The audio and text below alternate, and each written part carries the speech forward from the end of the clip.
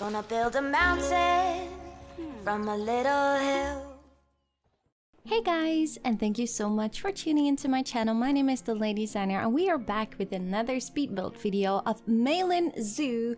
And the start of this video is basically almost finishing up the rainforest area we have with the Bengal tigers and the orangutans.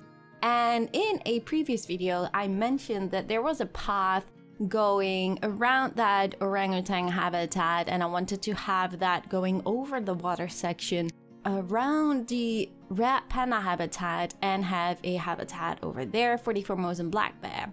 Now, plans are changing because, as I mentioned in the previous episode, I wasn't really able to delete the water and replace it back again, so I'm not really sure what that issue is. It might be, might have something to do with the Japanese macaque habitat, which is also using that water section inside that habitat. And so, yeah, I'm not really sure what that is, but I better be safe and not remove the water, build a lot of stuff, and then end up with not being able to put back the water section. I don't want to take that risk. So I am going to have this round viewing gallery on this side with the Bengal tigers and I'm also going to use the same one a round one at the end section at the orangutans. I think it looks really nice with those very small viewing galleries, around ones, and as soon as like your animals are new in your zoo then it's like super busy but when they're in your zoo for quite some time then it's all good and you don't have like super bottlenecks and those kind of things in your zoo. So yeah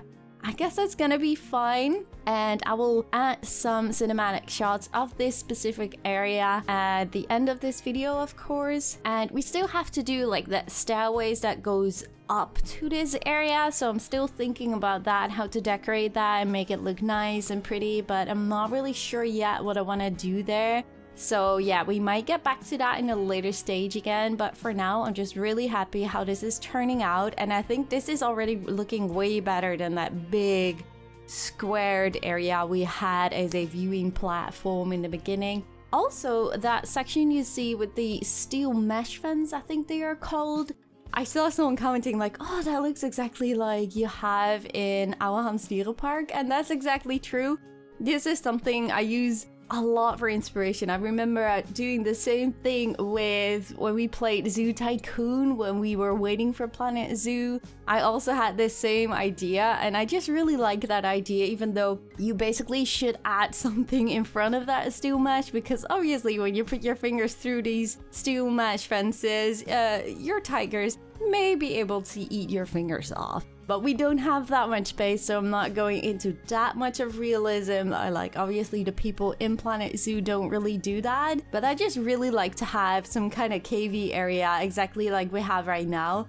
Now, obviously, because of this space, I couldn't really make it like a path that you could just walk through to a different area. So this is more of a dead end, but people actually use it, which is a lot of fun. And I did put down the educational sign at the end so people would actually go to the back end and just read that sign too. So yeah that's really nice and that's really nice way to attract a little bit of people to there if they want to learn more about the bengal tigers. And also the staff path on the right side of the bengal tigers i still need to do some decorations with. But those kind of things i rather just do off camera because i don't really think it's gonna be super interesting. It's just gonna be me either uh, putting a lot of rocks or trees around it just to hide it away a little bit. So we don't have to bother too much about that, in my opinion. Like, I really want to focus during this series about the habitats and stuff, so I don't really do too much for the staff areas. Like, sometimes I, if it's like super obvious and people can really see it, then I will try to make it more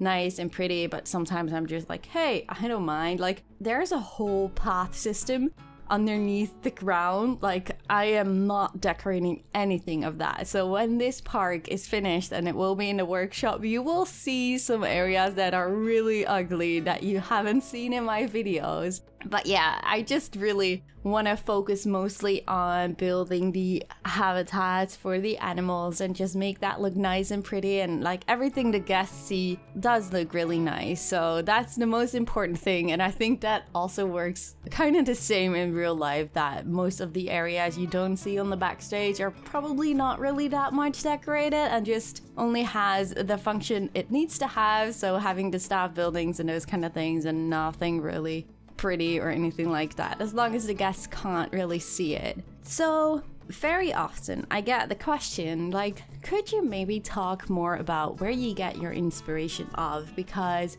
I don't really talk about that that often in my videos, and there's a reason for that. And the reason is I am not really someone that is planning out anything beforehand. And I had the same thing with Planet Coaster. Like, obviously, you have your experiences or anything like that, that you have been to a theme park. And for a Planet Coaster, definitely a lot of Disney inspiration, I think.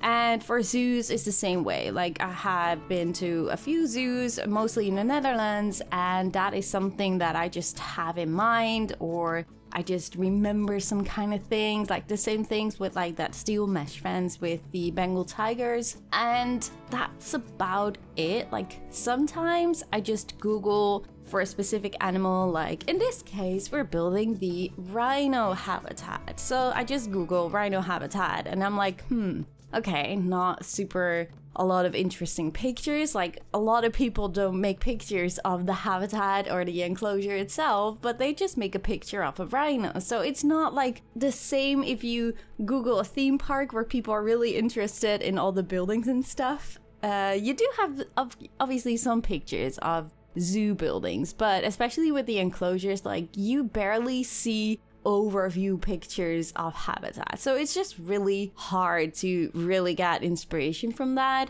So I remember seeing some kind of straight platform with some wooden structures underneath it, and I think it was a rhino habitat. I can't even remember, and something like that. I just keep that in mind, and I'm like, okay, that's what I'm gonna start with. And basically, the rest is just me placing down some beams, placing down some wooden pillars, and just go with it. Like, I never really have a lot of super ideas when I start building things. Like, mostly, and that's the same like in Planet Coaster, I just start building. I just start building with a wall. I just start building with a path and uh, just see where I end up. And then things just pop in my hat. Like, maybe I can try this or maybe I can try that. But it's nothing specifically that I feel like I can really talk about or explain because it's just, there's not like a super big thought or anything going in my mind. I just put down water and then I think like hmm, maybe I want to have a river or maybe I want to expand it a little bit. Maybe I want to make it bigger uh, maybe it looks better if I make it smaller. So I don't really feel sometimes, I, I do get it. I do get it that people ask me like, can you talk more of what is going on in your mind when you're building this? And, and it's mostly just me trying things out and see if anything looks good. But the problem with this habitat is basically because I just don't have a plan or anything. I just wasn't really happy with how this one turned out. And it, I think it's especially with the walls I'm putting down around the habitat and maybe that's because we never really use those big walls except for the red panda habitat we used the same thing but then it was a total different habitat it was very small and stuff so I don't know, I'm just not really happy with the walls right now, and I just can't really figure out what I would like more. So I'm just gonna wait and see, and probably in a few days or maybe in a week, I'm like, hey, okay, maybe I wanna try and change this in a later stage. Like, it doesn't look bad, it doesn't look bad at all, but just something feels off for me. And the same goes for like that area that is slightly lower of the path leading to that platform that I used those walls again and I did put down a lot of mulch and a lot of cypress trees but in the end I just really didn't like it so I removed it all and then I started putting down some smaller rocks because I felt like hmm, okay more rocks? Yes please. No I know a lot of you people are commenting about me how many rocks I use in this park but I don't no, they're just